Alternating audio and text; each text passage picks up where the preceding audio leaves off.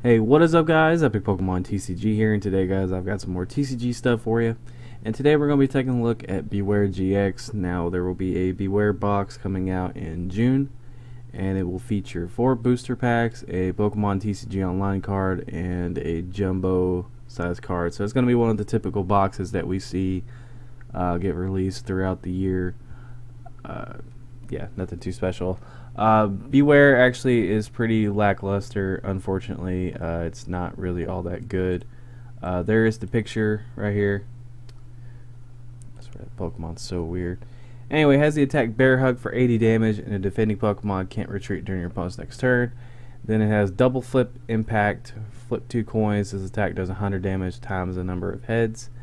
And then Big Throw GX, which also takes 4 energy.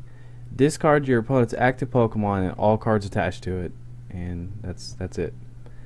Uh, this actually is not too good. Uh, I'm not gonna lie to you. This actually is pretty lackluster. I think this is more so for collection purposes. Uh, I know that there are people that just buy the boxes so they can have the promo card. And yeah, I don't know. I, I don't know what Pokemon's really doing. I don't know why they keep releasing these like boxes that are like uh, 20 plus dollars and they just don't really have anything good in them.